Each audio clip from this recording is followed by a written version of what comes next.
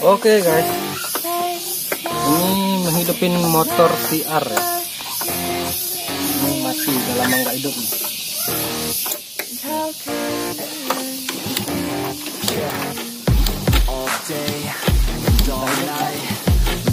Sekarang kita coba cek karburator.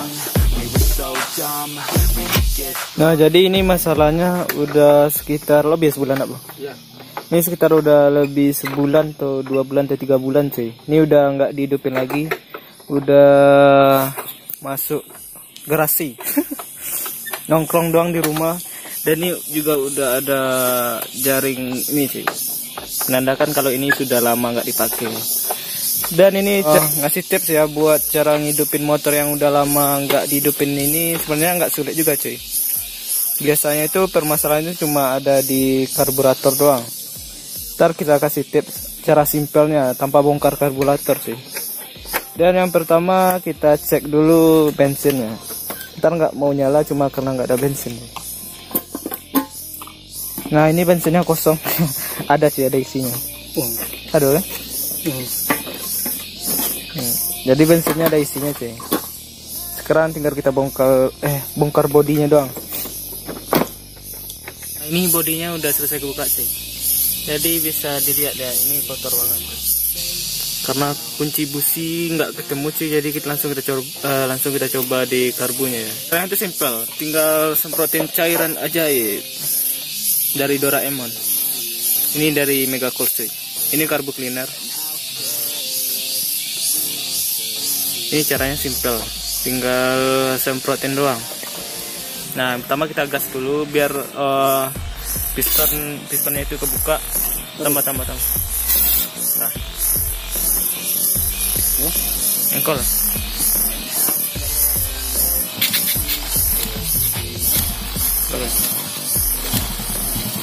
Nah, itu udah mulai nyala cuy. Nah, caranya itu simple cuy. Pokoknya tinggal kalian tembakin aja ya. Ini karbu cleaner ya. Itu biasanya kan kotor doang di dalamnya. Nah, ini udah nyala cuy. Tadi nggak nyala. Gas ya.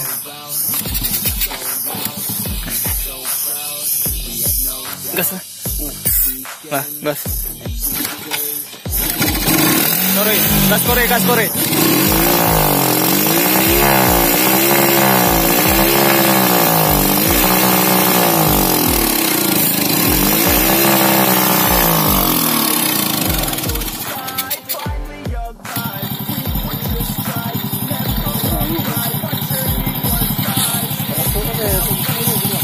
Tidak bisa semprot Iko.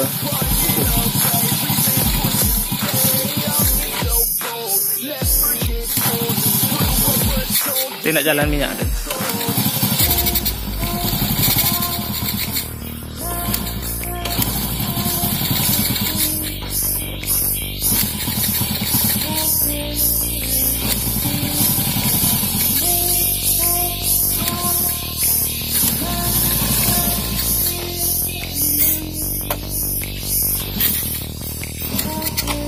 Apa enggak?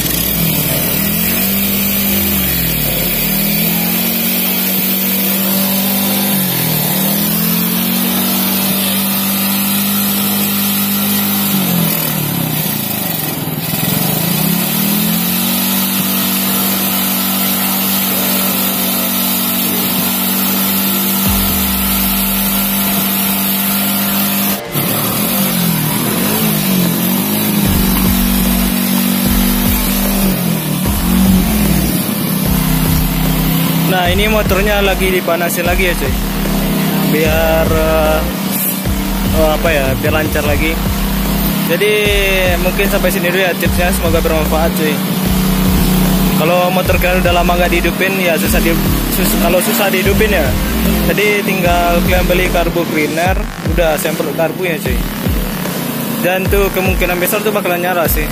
Walaupun karbu kelantuk sumbat ya Soalnya ntar yang dijadiin cairan bahan bakar awal itu adalah karbu cleaner ya cuy. Oke mungkin sampai di sini dulu ya tipsnya semoga bermanfaat. Dan mungkin jika ada yang mau bertanya silahkan komen ya. Oke, assalamualaikum warahmatullahi wabarakatuh. Silahkan subscribe cuy.